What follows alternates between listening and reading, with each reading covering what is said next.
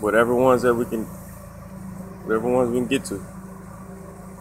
Like uh, penguin and I mean, Well, that the stuff that we already did, we'll count that. We're gonna count three tomorrow and three Friday, and then and then next week we're gonna count three a day. well, let's just get a head start on it. I'll say that. Art's gonna be out here.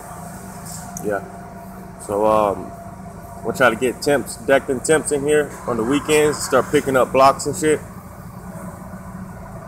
a lot of fucking blocks I see back there. You know they always fall right in the back though. Always in the fucking back.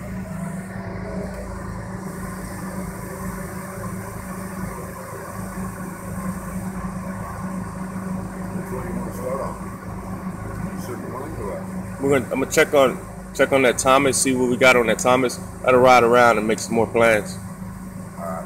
Start with that Thomas. Huh? They do any last I think they they probably finished. It wasn't much of that shit. I'm going about maybe six rows in back. So that Thomas, once we finish the Thomas, we're gonna take the Dora and put it right in front of the Thomas. Just move the door up and just bury the door up. Yesterday. No, we unburied it. You went That way you'll have that whole block for something over there. Put Hello Kitty in front of it? Well, behind it, but shit, they they uh, I told second shift got to keep it there, move it somewhere else.